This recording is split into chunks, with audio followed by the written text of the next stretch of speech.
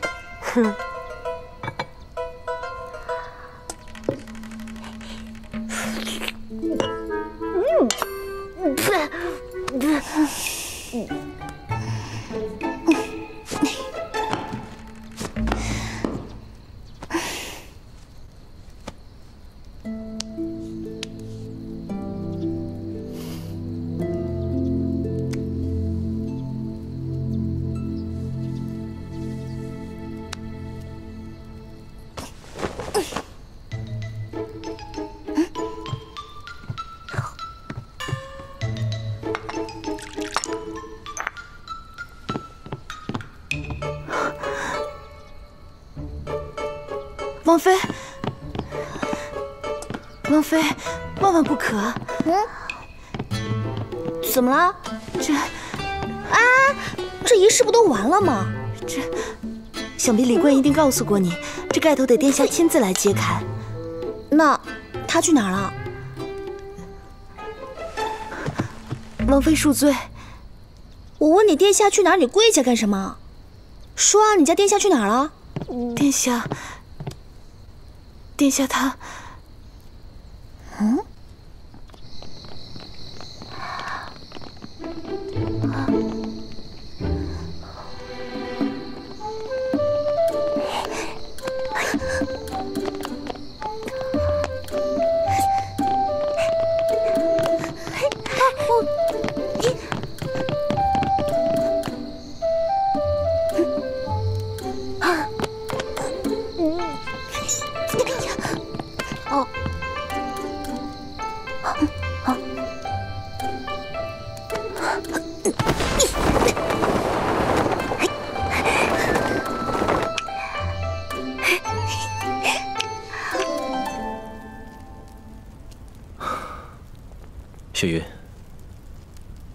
没想到你如此倔强，非要和刘宋公主同一日嫁过来不可。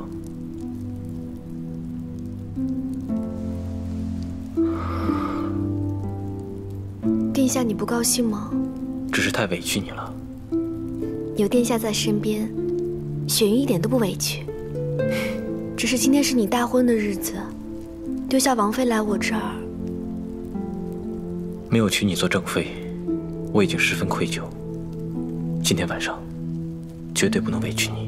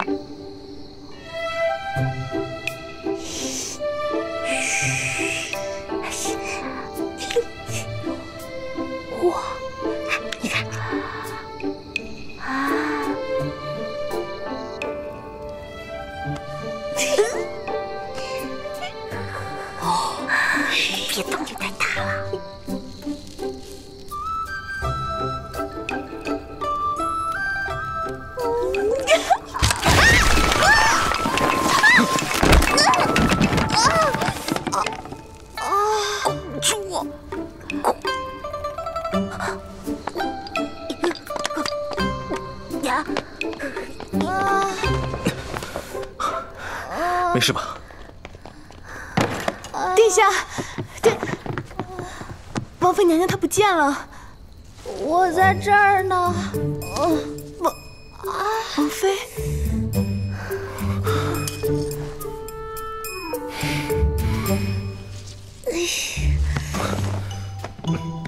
刘宋向来重视礼仪，竟有如此荒唐的公主，简直闻所未闻。哼，我泱泱大宋无奇不有。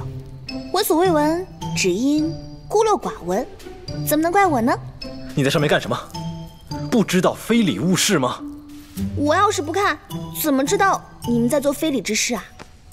既然不能未卜先知，那就只能不知者无罪喽。哎，还我先呢！先道歉。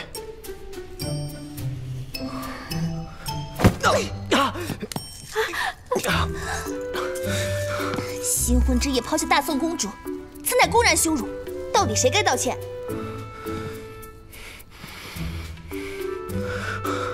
兰若，把他带回去。王妃，我们回去吧。我自己走。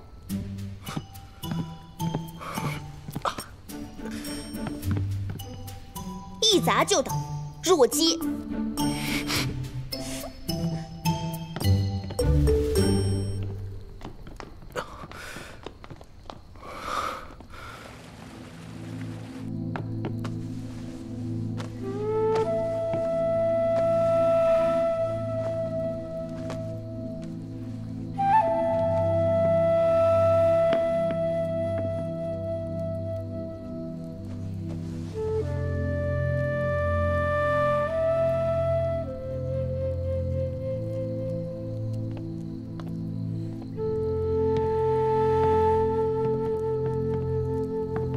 殿下，殿下，你实在不该对王妃那么苛刻。再怎么说，她也是刘宋公主，背井离乡，实在可怜。哼，牙尖嘴利，寸步不让。我的行为根本伤不到她。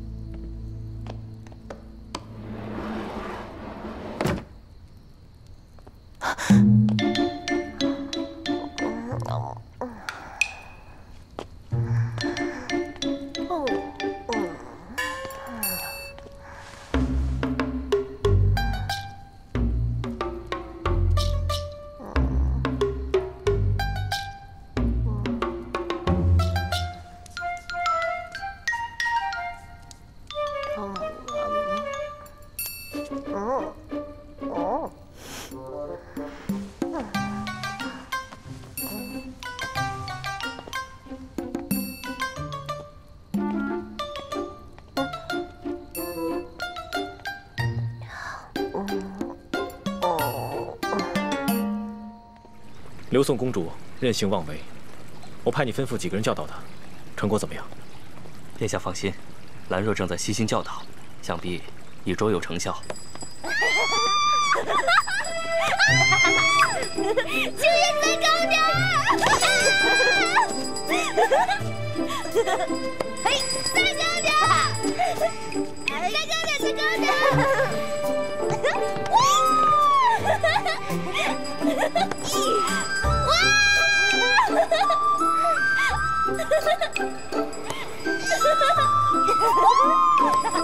王妃，太危险了，我们赶快下来吧。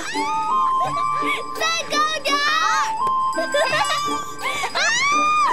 下来！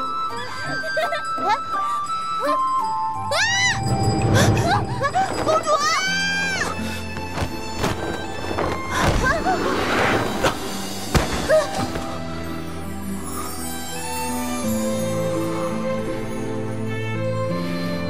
王妃，滚！公主，殿下，公主，哎，殿下恕罪，奴婢一时疏忽，竟然让王妃娘娘受了伤。兰若，我让你好好教导她，你竟然带她玩！小气！你说什么？怎么了？不就压一下吗？你还占便宜呢，干嘛那么生气？你分明……哎！千万别这么说，想说我故意勾引你是吧？俗，太俗了！你自己照着长什么样再说吧。带他下去。是，下午还来玩呢。走吧，王妃。多找几个人教他礼仪。是。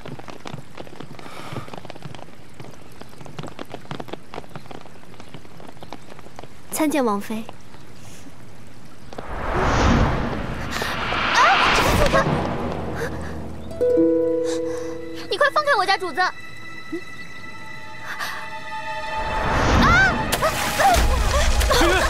雪云，主子，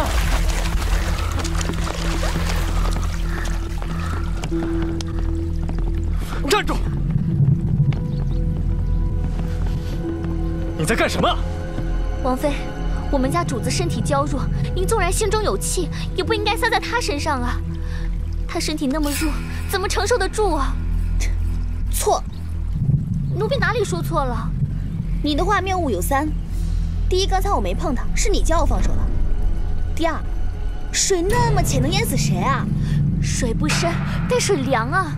主子身体娇弱，受了风寒一定是要命的，他怎么会自己主动跳进去呢？当然是为了冤枉我啊！你，你血口喷人！碧玺，不得妄言。殿下，你瞧见了吧？王妃害了主子，竟还出言污蔑他。你要干什么？至于第三嘛……啊！雪云，主子，你干什么？我刘楚玉要惩罚别人，直接丢下去就好了。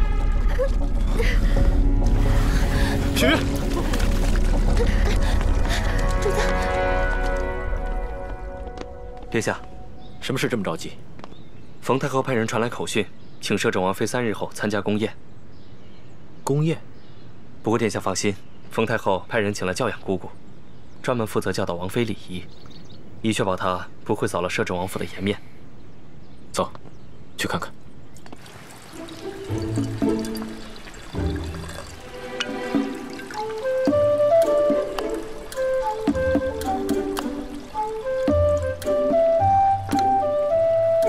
汉人最讲究礼仪，而你却完全不通晓卫理。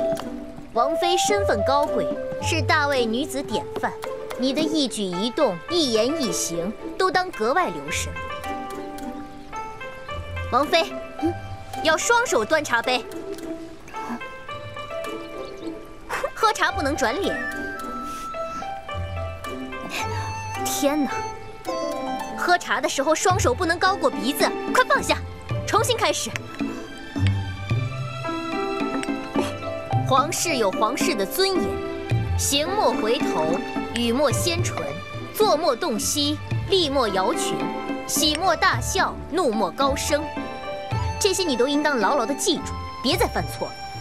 奴听说王妃总是动不动就和摄政王争执，是不是啊？我没有，是容止不讲道理。王妃。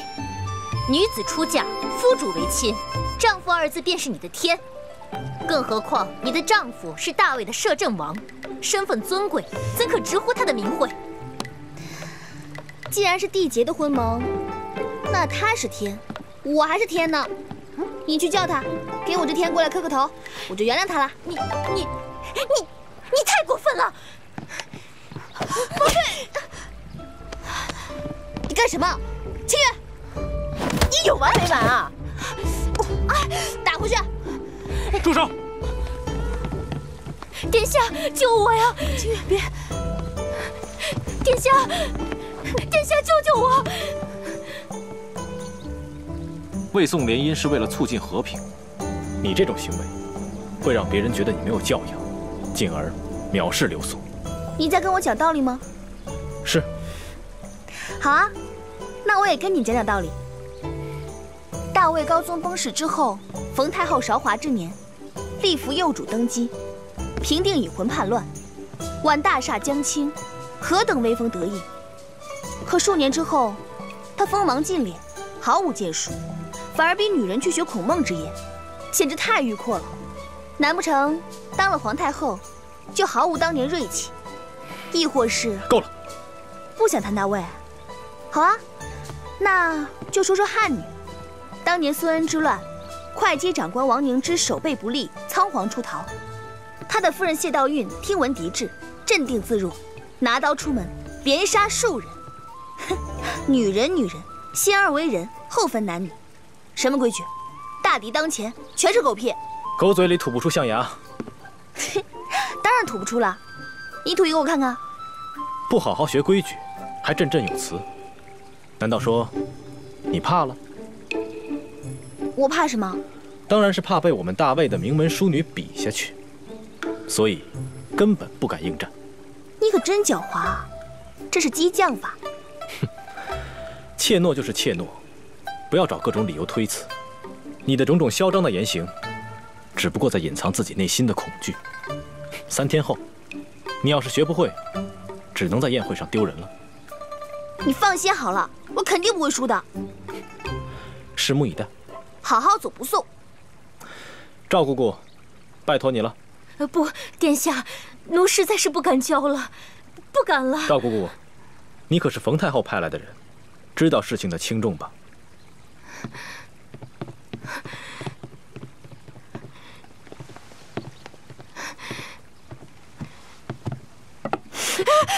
王妃，我我不敢了。拿着，让他继续教，教不好，抽他。来人，倒茶。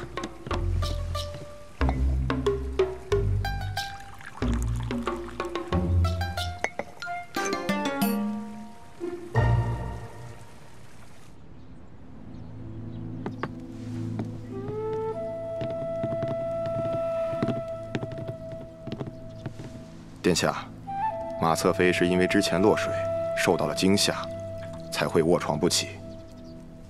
殿下不必过于担心，吃两服药，好好休息就好。知道了，下去吧。是。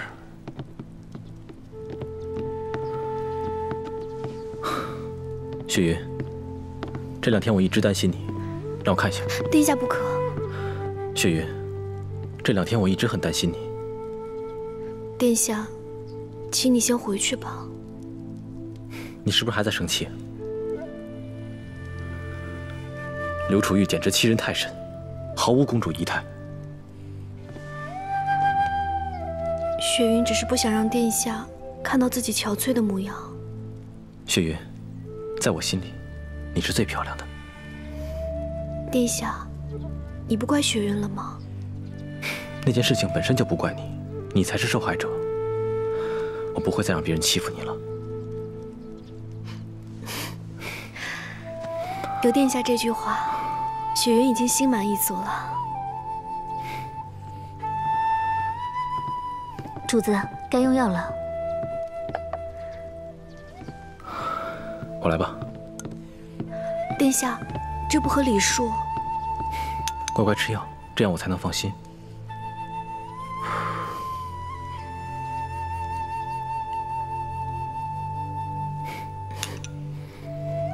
殿下，赵长史已在院子外头等候半个时辰了。让他下去吧。今天不管有天大的事情，我都要陪雪云。殿下，雪云真的没事了，你快去忙吧。我怎么能把你困在这一方天地呢？要是传出去了，别人会说雪云是红颜祸水的。为了雪云，即便背上昏庸之名又有何妨？殿下愿意，雪云可不愿意。殿下，你快去忙吧，要不然赵长史可真要怪罪我了。好，那我忙完再来找你。辟邪，送殿下出去。是。不用了，好好照顾你家主子。想不到这个刘宋公主，竟然是个魂不吝。好在殿下始终站在你这一边，完全不肯相信她呢。殿下是对我心存愧疚，才会对我这么好。主子啊，在殿下心里呀，你才是那个最重要的人。为什么要和有名无实的摄政王妃较劲呢？你以为我在乎的是摄政王妃的尊位？陆师爷，我知道那天是我太莽撞了，可是我就是想看看殿下会不会无条件的偏宠我，又能到哪一步？哪怕知道是我的错，殿下也会义无反顾的站在我这边。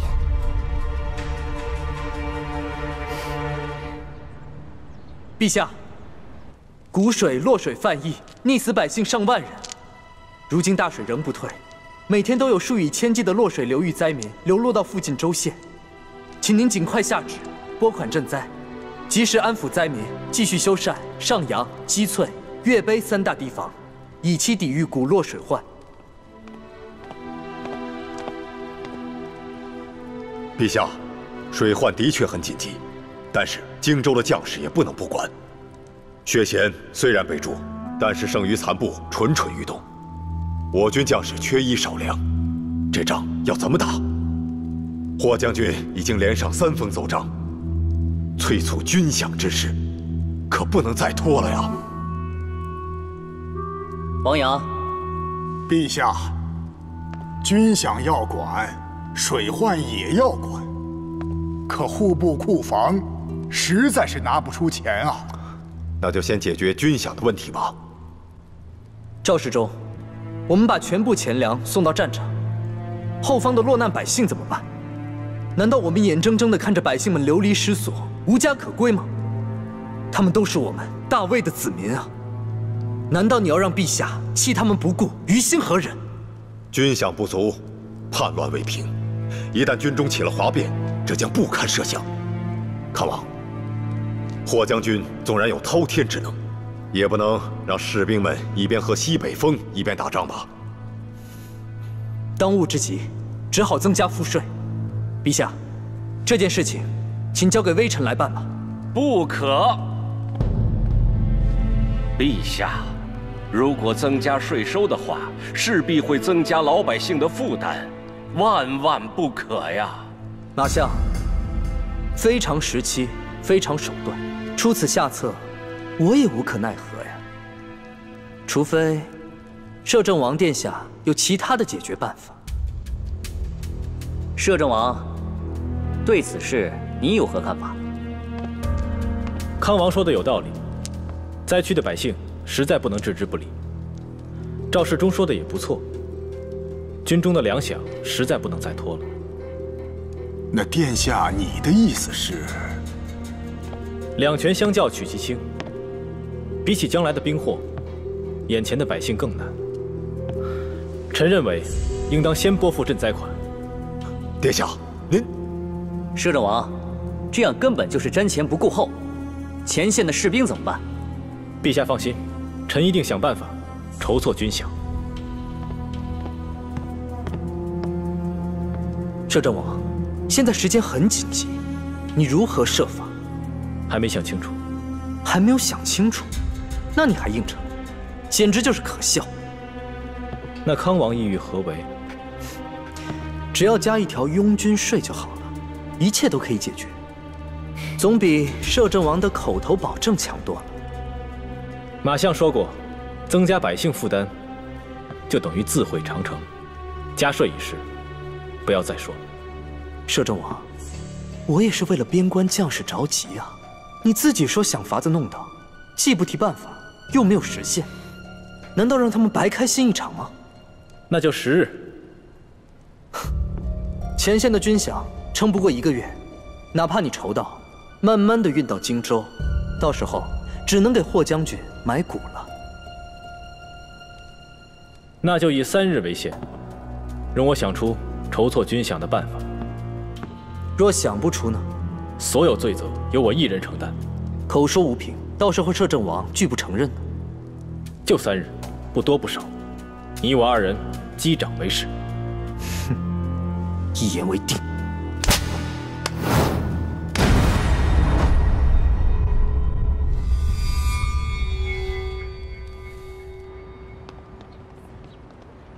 要三日里想出筹钱的法子，这简直是天方夜谭呐！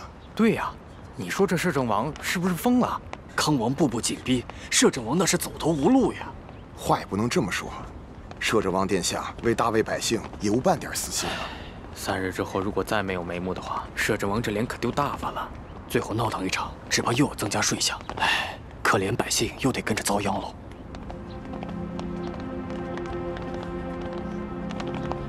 殿下，你也太失策了！三日之内就要想出筹措之法，还是三十万人的军饷，这简直是天方夜谭呀！你刚刚当了摄政王，就接下这么一块烫手的山芋，要是做不成的话，就成了天下人的笑柄了。放心，我自有办法。哎呀，你呀你，你让我说你什么好啊？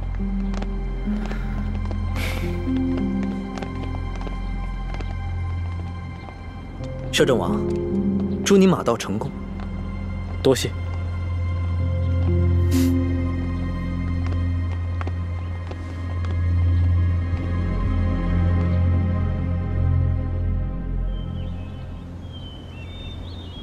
殿下，三日之期已到，军饷的事，我已命人筹备得当。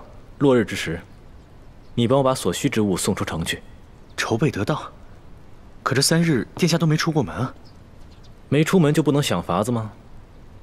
莫非殿下动用了自己的私库？不，万万不可！谁？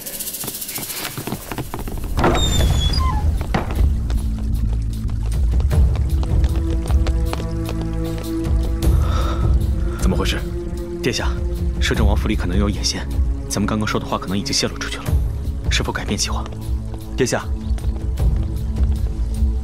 一切准备就绪，你该去赴宴了。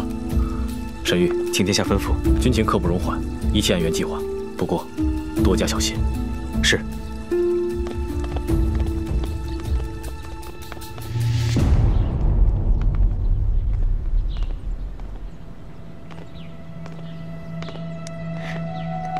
外面风这么大，你又风寒未愈，怎么穿这么少？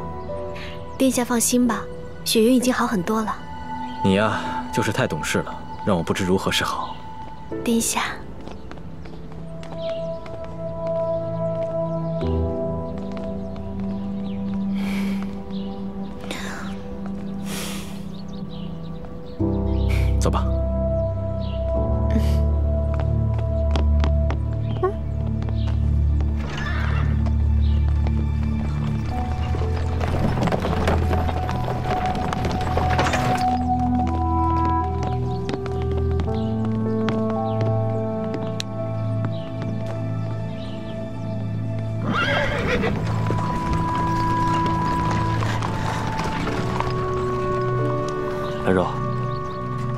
必太担心了，有殿下在，只要王妃不乱说话，应该不会有太大问题。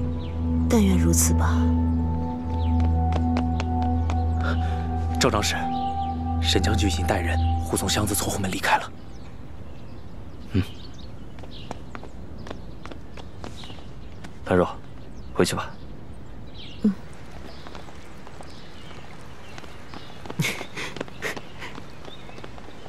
殿下。表弟遇上什么好事了？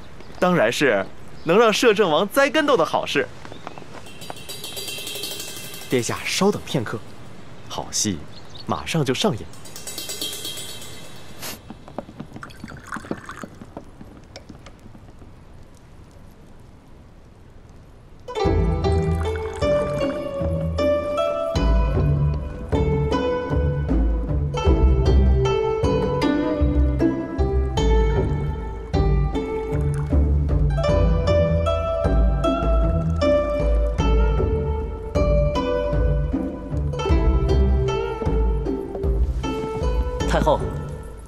儿臣敬你一杯。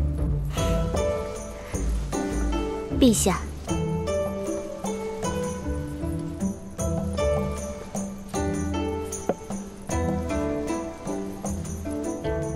康王呢？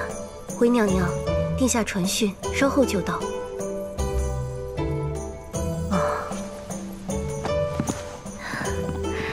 殿下，王妃今日与往常不太一样啊。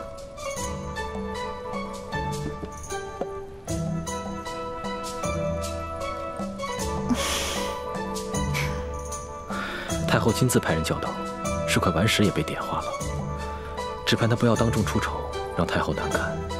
殿下放心，雪云会小心指点的。辛苦你了。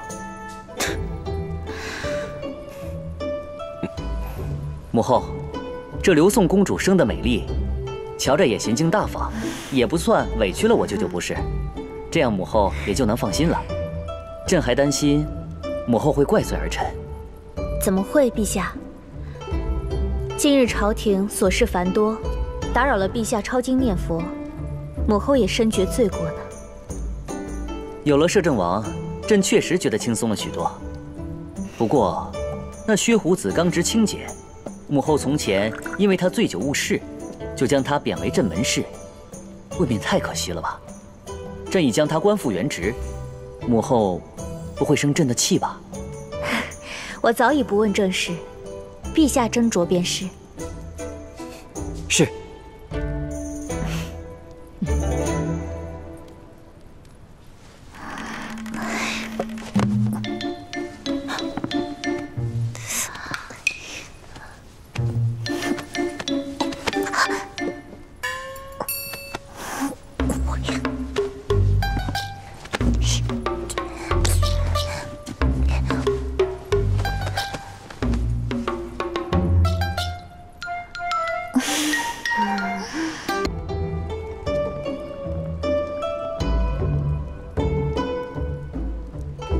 觉得味道如何？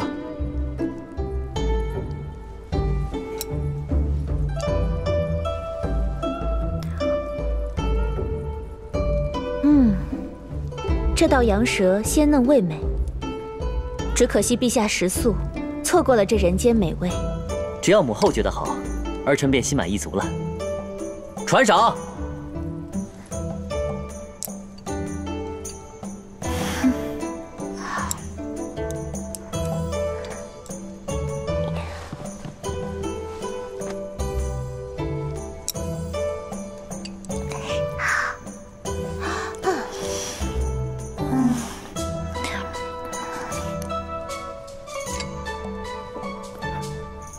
你不喜欢？味同嚼蜡。可我觉得好好吃啊！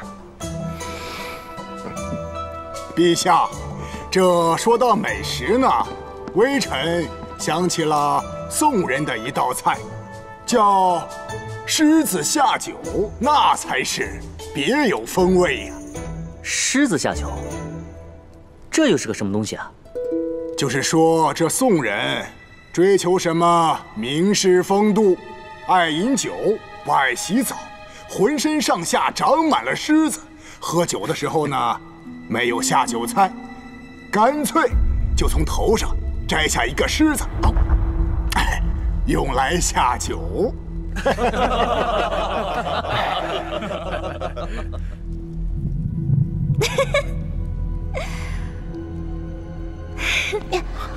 你要干嘛？王妃，万万不可呀！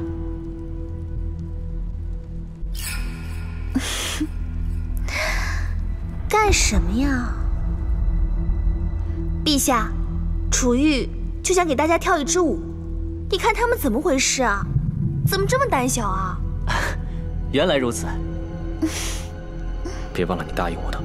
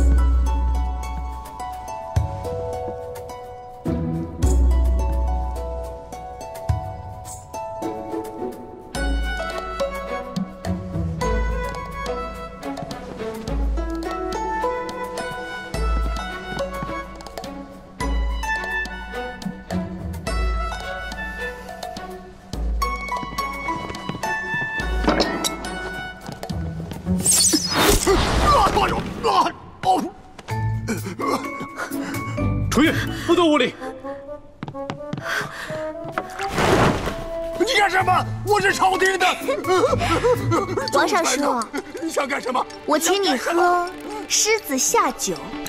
没王法了吧？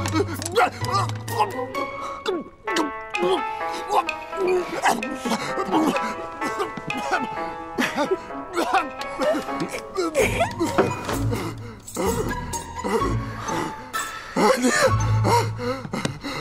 陛下，你要为老臣做主啊！陛下，陛下，请为老臣做主啊！陛下，臣有要事禀报。你看，这些箱子，当真是从摄政王府运出来的吗？我的暗桩在摄政王府潜伏日久，发现这三日，容止打开库房，一直在盘点府内的金银玉器，可见他为了援助霍玄，不惜动用私库。如今摄政王丢了这批财物，就无法解决军饷之困，之前的信誓旦旦全都化为了笑谈。你说他？是不是丢脸丢到天边去了？不只是丢脸而已吧？不只是丢脸。荣止向来喜欢装腔作势的，没想到背地里面这么会敛财。如果皇上看到这些箱子里面的金银珠宝，他肯定十分惊讶。原来他清廉的好摄政王是个贪财的蛀虫。你是说，一会儿啊，清点一下，带箱子跟我一起入宫去吧。是皇上驾到。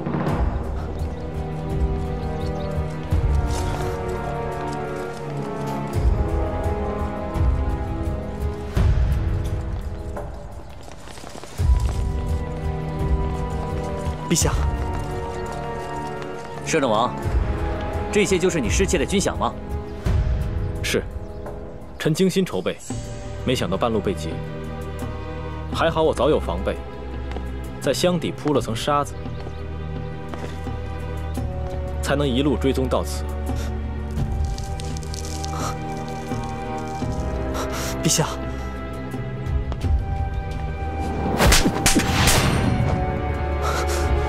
陛下，你私劫军饷是想干什么？是要颠覆朕的江山吗？陛下，请听臣解释，臣这么做也是为了大魏的江山考虑啊。哼，你说。朕倒要看看，你还能说出什么花来？臣眼见摄政王足不出户，却放言筹措，心里十分忧虑，就格外的关注了一些。今天得到了线报，说摄政王为拉拢霍玄，解决困境，不惜大义凛然的用了自己的私库。我转头一想，这事不对啊！哪里不对？第一，霍家军是我们大魏的军队，摄政王为什么要用自己的钱来养兵呢？除非他早就跟霍玄勾结。这三十万人已经变成他们自己的人了。第二，这三十万军饷，光靠摄政王的日常进项，哪能填得了这么大的窟窿呢？莫非，摄政王早日里也敛了一些不该敛的财？所以臣疑虑重重，找了人探查了一下。如今水落石出，令人震惊。陛下，您看看这些箱子，是摄政王的金银珠宝啊，更是搜刮来的民脂民膏。如今他想用这些钱。把大魏的军队收为己用，真正其心可诛啊！你你怎么不早点说？这是假公济私，心怀谋逆。臣念及多年情谊的份上，又怎么忍心呢？所以徘徊犹豫，连宫宴都没有参加，就怕一个弄不好，至亲不和，君臣离心，更怕激怒了摄政王，来个鱼死网破，不死不休。摄政王。你可有话要讲？沈玉，卑职在。你亲自打开箱子，让陛下看一看，里面到底是什么？是。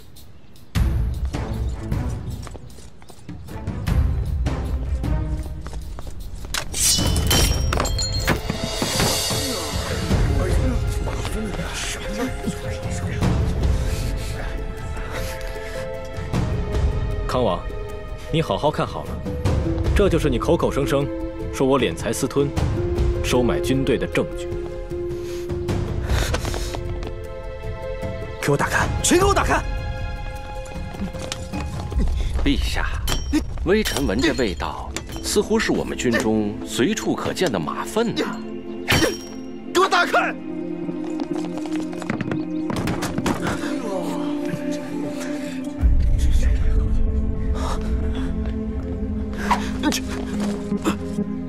这里一共二十只箱子，全都装着马粪，不用再找了。不，怎么会这样？一定是摄政王设计陷害，一定是！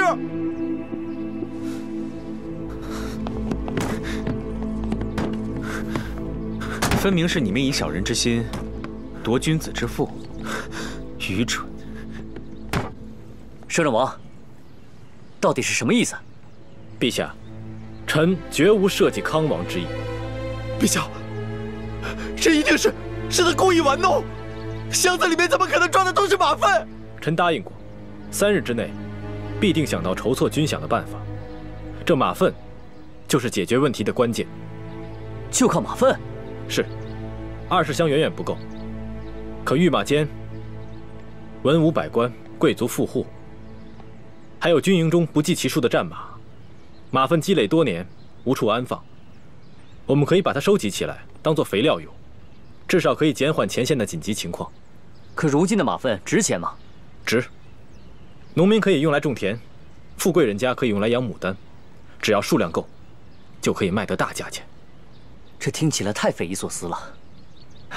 陛下，摄政王这叫一箭双雕，此计大妙啊！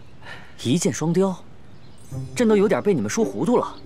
摄政王用马粪卖了赚钱，一可以缓解前方的军饷危机，二可以给我大魏的敌人造成心理威慑。我大魏的马粪越多，证明我们的战马越多，战马越多，骑兵越多，这正是我大魏纵横天下的优势所在。所以敌人能不害怕吗？只是摄政王用卖马粪挣钱这种方式传出去，实在是有点损我大魏的威名。只要能让军中将士温饱，让百姓平安，被笑话又怎么样？更何况，主意是我出的。要笑也笑不到陛下头上吧？我是打定主意要做这个马粪摄政王，谁都别拦着。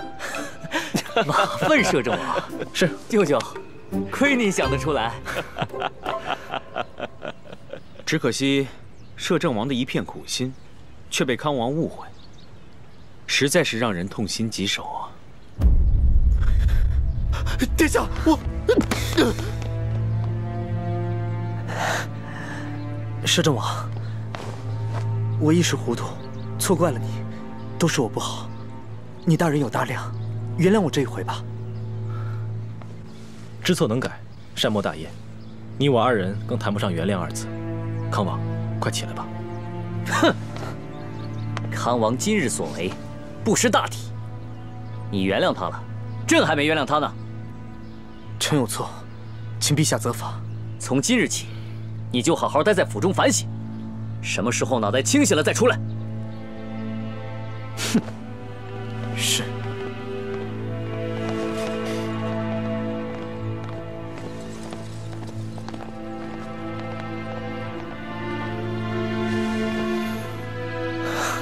摄政王，好手段。康王不必动怒。上次你派人刺杀刘宋公主的事，我还没找你算账呢。这回，你又把累赘的马粪搬回来，怪得了谁呢？刺杀刘宋公主，证据呢？你派去的都是死士，又能有什么证据？不过世事无常，不会每次都没有破绽。好好看着你这个表弟，下次再闯祸，你未必兜得住。马粪，你要是喜欢的话，就留给你好了。顺便把王府的门修一修。刚刚沈玉进来的时候，不小心打坏了。沈玉，我们走。殿下，就这么忍了吗？你自己愚蠢的上了当，还有脸面跟我讲话？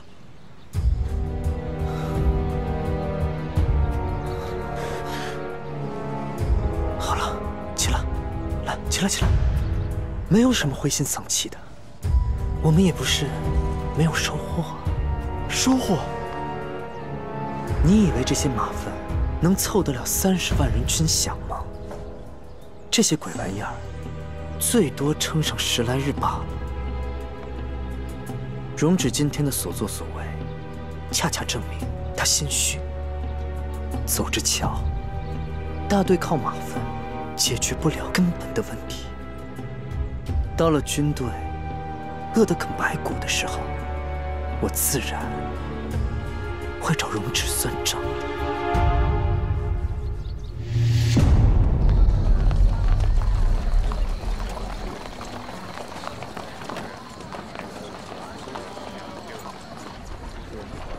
王妃，王阳为人虽跋扈了些，却也是户部尚书啊，是殿下用得着的人。你这样做，大大得罪了他，将殿下陷于不义之地。明日殿下还得备齐了礼物，上门亲自赔罪。你身为他的妃子，却不能为他担忧，这实在是……停车！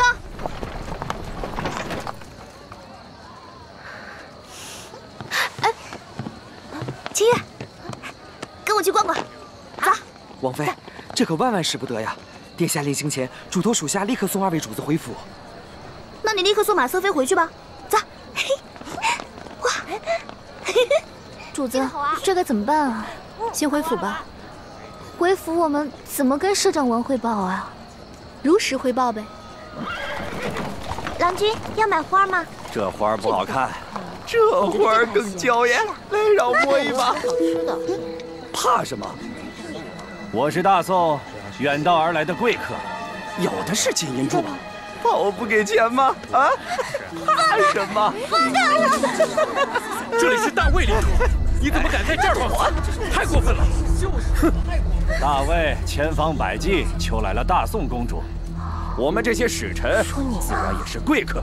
谁要是得罪我，就是有意挑起宋魏纷争。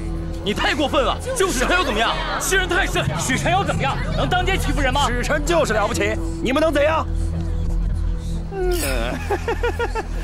来来来，你是什么人？收拾你的人！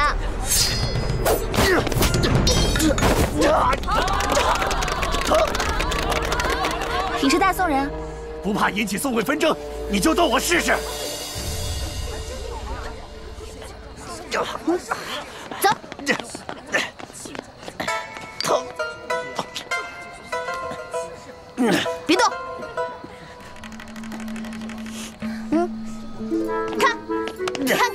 什么字？呃，说呀，啊什么啊？蠢字，汉字都不认识，还说自己是大宋人。我还说呢，自古做坏事都心虚，少有自报家门的。你哪来的狗仗人势的无赖？原来是个冒牌货。说，为什么冒充大宋人？说，我就是大宋使臣。巧了，我是大宋公主。清月。带我府。嗯，走。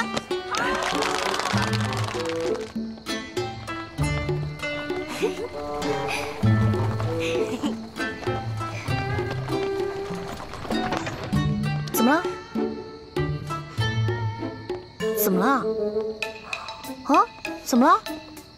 还知道回来啊？又生气了？怎么心眼比甄家还小？你还不认错？王妃，快别惹殿下生气了，快给他赔个不是。不需要。哎，我跟你说啊，刚我在路上遇到有人假冒宋使，被我顺手抓回来了。假冒？嗯，不信的话你去看啊。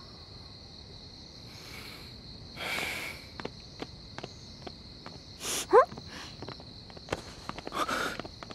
怎么样？瞧见了吗？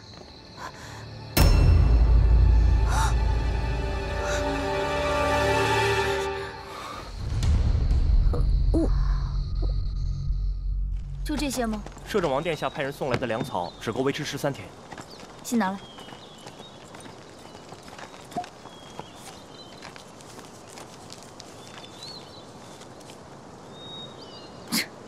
这个混账，每次都把难题丢给我。摄政王殿下说什么了？王泽，我们来请客吧。请客？将军想要请谁的客啊？驻军这么久，荆州官员、世家大族，还有那些富得流油的商人们，可都还没见过呢。将军，你不会是要打他们的主意吧？千万不行啊！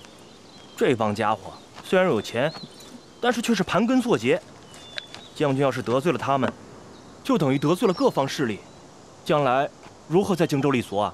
我也不想釜底抽薪啊，但现在荣只需要我的支持。那咱们也不能打他们的主意啊。你知道，我从来没有拒绝过他的要求。我知道你不想让摄政王失望，可这件事实在是非同小可，要不咱们再想想别的办法，啊？只要我想办，哪怕天大的事，我都要给他办成了。就算是要请客，咱们也没钱请客啊。走吧，去打几只野味，给他们备菜。打野味。霍玄敬大家一杯。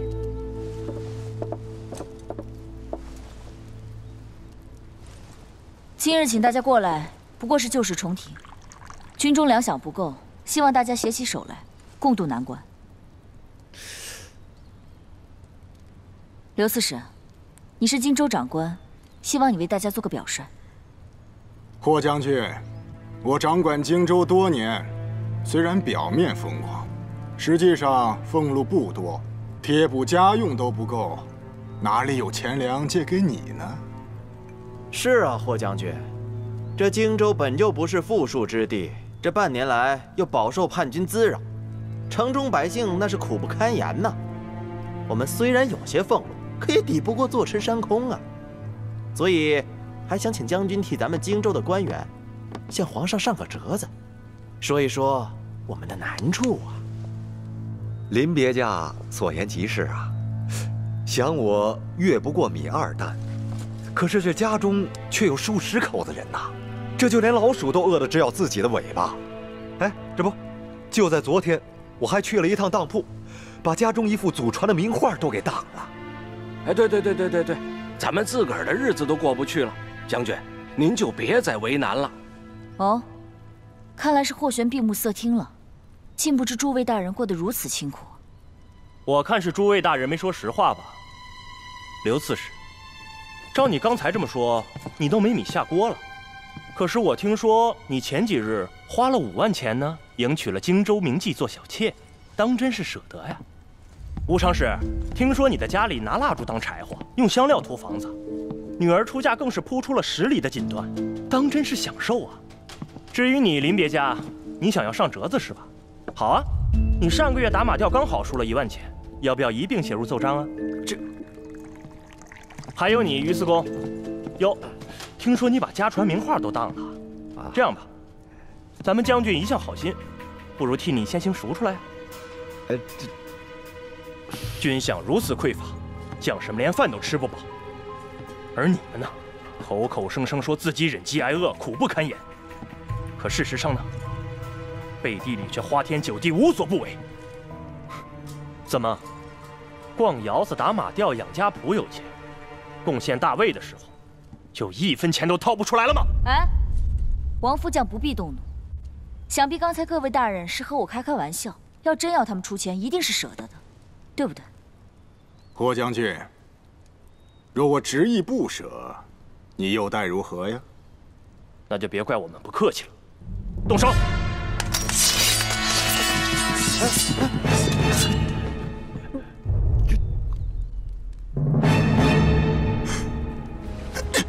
霍玄，你借钱不成，竟敢明抢，与土匪恶霸何异？少在我面前摆飞凤将军的臭架子，老老实实跪下来求饶。或许我可以看在你父亲的份上，饶了你这番行径。啊，是啊，霍将军，你想要粮食，倒也可以，只要讨得刺史大人欢心，这给个一百担。那又何妨啊？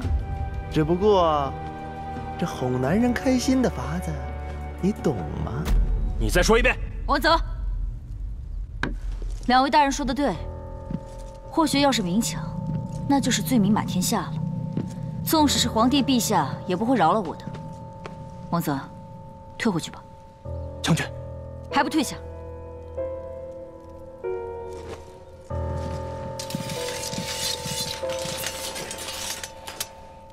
王副将，识时务者为俊杰。你也该得和你家将军好好学学。这万事嘛都好学，可有一样，这王副将怕是学不来啊。哦，是哪样啊？要是没有这个，霍将军如何讨好摄政王，跟他情深意重，比肩而立呢？嗯，放肆，怎可对将军无礼？诸位还不知道吧？咱们的飞凤将军。就是靠着无可匹敌的美貌，才混入叛军薛贤的军营的。人都说这最难消受美人恩呐。霍将军不惜出卖色相，以身饲狼，才换来战功赫赫，大魏太平。微臣实在是佩服之至啊！说得好。说的妙，笑够了，那就上菜吧。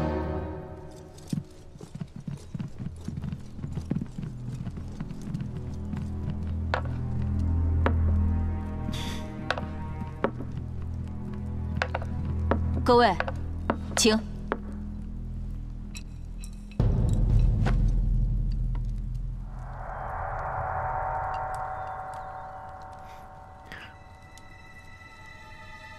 哟，这切块不错呀！霍将军还有如此雅兴，特意准备了如此美食啊。不过这鲈鱼，是不是老了点儿？林别驾，你眼花了，那可不是鲈鱼。不是鲈鱼，不是鲈鱼，而是鲤鱼。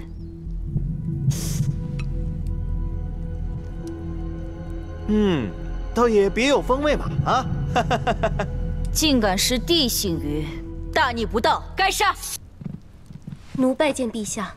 太妃呢？太妃早早就休息了，奴这就去。朕知道了，你先下去吧。是陛下。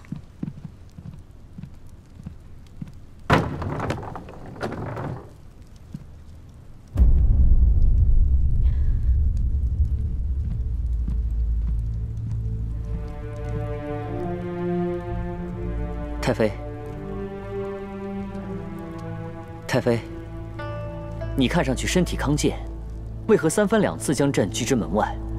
陛下若是不悦，就治我个欺君之罪好了。太妃何出此言？我与你母亲情同姊妹，自你母亲过世以后，我待你如何？你与云儿虽非一母同胞，可是也相伴长大。手足情深。如今，你听信奸佞之言，将他看成了眼中钉、肉中刺。太妃的照料，朕自然不敢忘。那你为什么把他关进了冷清清的康王府？我是他的生身母亲呢，你连我都不让见，你这到底是要做什么？太妃，天子犯法，与庶民同罪。皇兄他做错了事，云儿，他最大的错误，是他不应该让摄政王难堪，更不应该让陛下为难。早知道今日，当年他出生的时候，我我还不如亲手掐死他，也好过现在受兄弟掌掴，处处难以自处。受人白眼。好，朕看在太妃的面子上，就饶了皇兄这回，还不行吗？我不敢让陛下为难。朕知道，这段日子难为了皇兄，朕以后好好补偿就是了。太妃，你再这么哭下去，朕也会难过的。陛下。好了好了，太妃，你不要再哭了，朕马上下旨把皇兄放出来。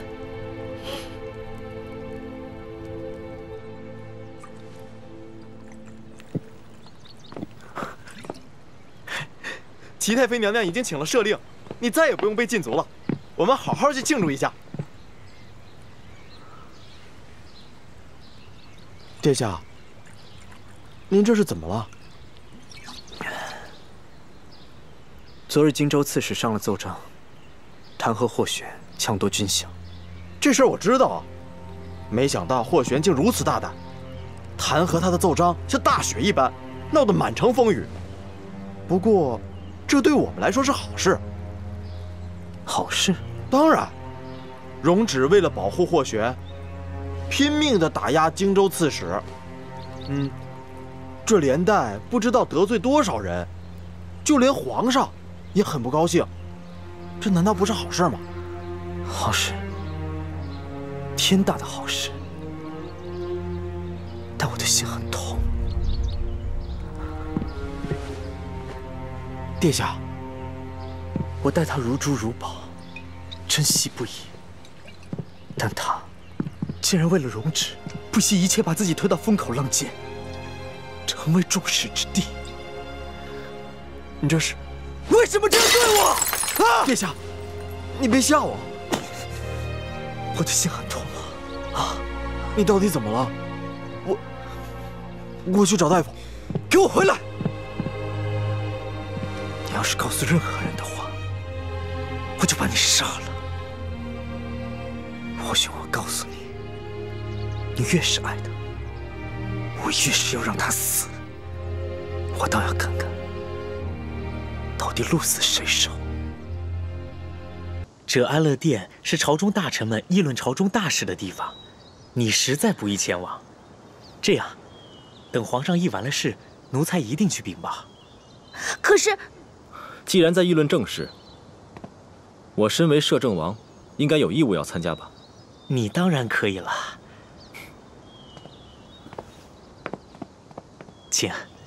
刘楚玉，我先进去瞧瞧，没有我的吩咐，你不许离开半步。我，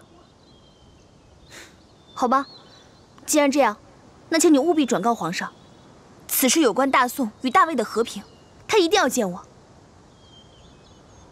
请。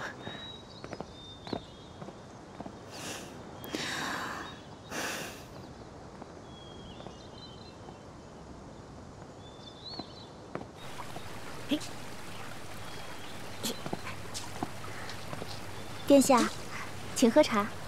听说那个摄政王妃来了。殿下，那个刘宋公主上次在宴会上把王尚书吓得半死，你可千万离她远点。有那么吓人吗？都说刘宋和大魏联姻是打了败仗送过来赔罪，不过依奴看啊，根本就是刘宋送来的细作。细作？是啊。哎呀，你不知道吗？那个刘宋使臣杀人的案子最近闹得好大呢，使臣杀人放火，主子也不是什么好东西。我看啊，呃，你刚说我什么呢？摄摄政王妃，我耳聪目明，大老远就听见你在胡言乱语，说我什么？大宋细作？殿下，殿下，救命啊！殿下，你你你住手！你你放手！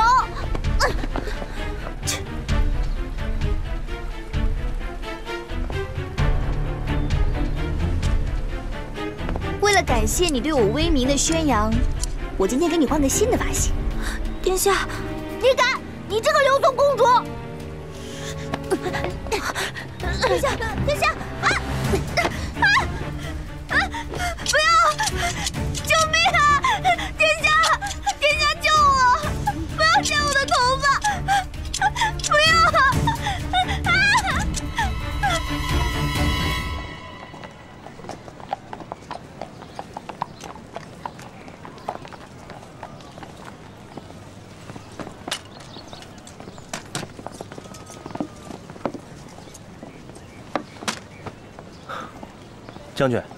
咱们这样单枪匹马来到荆州城，实在是太不安全了。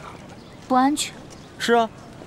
前些日子为了军饷，你可是把荆州刺史得罪的不轻，人家一连上了好几道奏章弹劾你，幸好啊，都被摄政王给压下来了。人家正愁没地方报仇呢。现在好了，军饷丢了，人家更要借题发挥了。我既然敢抢，就不怕他闹。可是将军，放心吧，按他胆小怕事的个性，顶多就是扯扯后腿。我要是他，早就集结荆州守卫军冲出来狠狠干一仗，还会窝在刺史府里孵蛋吗？说的也是。不过这几日我们暗中查访，却是一无所获。对方会不会根本就没有进荆州啊？哼，我命人率军堵住各处要隘，他们根本运不出去。唯一可以藏匿的地点，就是荆州。这帮该死的刘宋人，他们到底想干什么呀？只有亲手抓住主谋，才能知道到底是不是刘宋人所为。不对啊，我明明看到打伤我的那帮混账东西，穿的是刘宋军服。凡事不能光看表面，一定要深入调查后才能做决定。难道将军是怀疑真相早晚会水落石出的？走吧，傻小子。哦。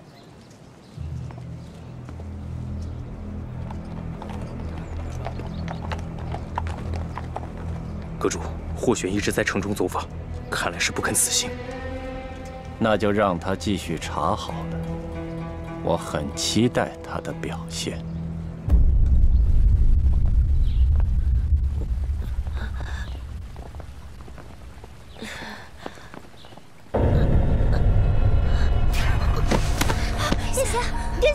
殿下快来人啊快来救救我们殿下怎么。回事？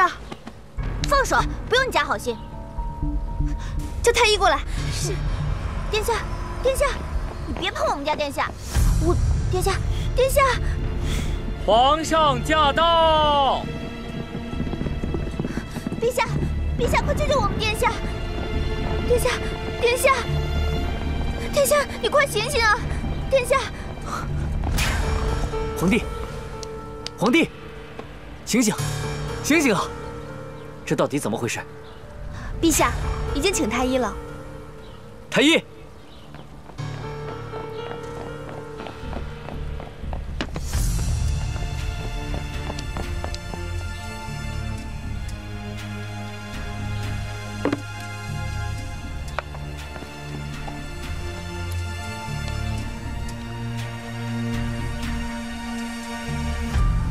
陛下。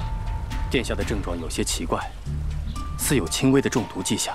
微臣已经给他服下了清心丸，不会有大碍了。中毒？说是中毒，倒更像是过敏。微臣曾经提醒过殿下，素有喘疾，体质敏感，一定要格外精心。你们是怎么照看的？皇兄，不怪别人，都是他害我的，关我什么事啊？陛下。八殿下向来身体弱，闻到浓重香料会严重过敏，因此殿内从不熏香，身边的人也从不配香。刚经过摄政王妃，奴就闻到一种奇怪的香气，心下虽然怀疑，却不敢往别处想。谁知他刚离开没多久，殿下就浑身发痒，呼吸困难。什么奇怪香气？我根本不知道你在说什么。那你身上古怪的香气是从哪儿来的？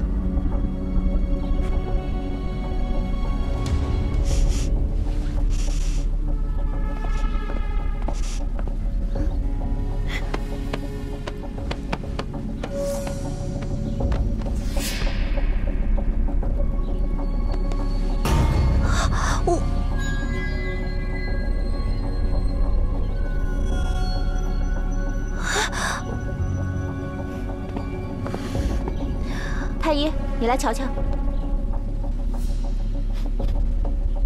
这是一品红的花粉。什么？一品红？没错，一品红的花叶本来就是有毒，按说寻常人只是闻闻，不会有什么大碍。只是八殿下素有喘疾，体质敏感，这东西是万万碰不得的，一个不小心可是会送命的。王妃，女儿家的香囊里放的都是薄荷、艾草、兰花，绝对不可能是一品红。因为大家都知道，一品红是毒药。你随身带着，有什么目的呢？难道真是摄政王妃所为？好好的一个小丫头，心肠竟会如此狠毒。八皇子与她无冤无仇，碍她什么事？就算不是针对八皇子，身上带着这种有毒的香囊，也一定是心怀不轨。刘宋人就是小人之心，诡计多端。这个刘宋公主。更是登峰造极，难怪有着随便杀人的时辰呢。就算是摄政王妃所为，这伤害了小皇子，那也是死罪啊！我都说了，这香囊不是我的，是从你的身上找到的，又不是别人。摄政王，这事儿你怎么看？我不是让你待在原地不动吗？他们这栽赃陷害的本事，我就是原地不动，也会有一盘狗血从天而降的。刘宋公主，不要巧言令色，朕要听你的解释。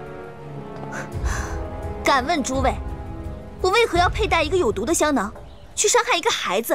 奴陪着八皇子闲谈，无意中说起近日刘宋使臣杀人的案子，本是无心之事，却惹得摄政王妃勃然大怒。他竟剃了奴的头发，殿下为奴抱不平，不过是说了他两句，没想到他竟然下此毒手来报复。按你所言，我教训你是临时起意。我又不知道八皇子的体质，又怎么可能提前准备香囊呢？也许你准备毒香囊，根本就不是为了针对八殿下，只是被我们殿下碰巧撞到了而已。小小香囊藏有剧毒，若是放到茶水点心里，中毒者必定命丧九泉。谁知道你带着他入宫，究竟要祸害什么人？王妃，你既然来见陛下，为什么随身带着一品红？这是对陛下大不敬啊！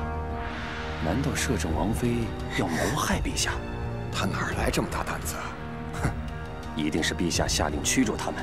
刘宋公主劝阻不成，便想到如此恶毒的主意。这八皇子也是倒霉呀，这是待灾呀。若非八殿下体质特殊，对香味更加敏感，真让刘宋公主伤了陛下，那大魏的万里江山，危矣呀！你们有妄想症吧？这都什么乱七八糟的呀！这是病，得治。不是别有用心，怎么会携毒入宫呢？八弟不小心撞破，倒是救驾有功。陛下，摄政王妃心怀不轨，屡屡伤人，所作所为实在可恨。您对刘宋一直心怀仁慈，没有赶尽杀绝，现在该下定决心了吧？够了，王妃，你说你是无辜的，请给大家一个合理的解释。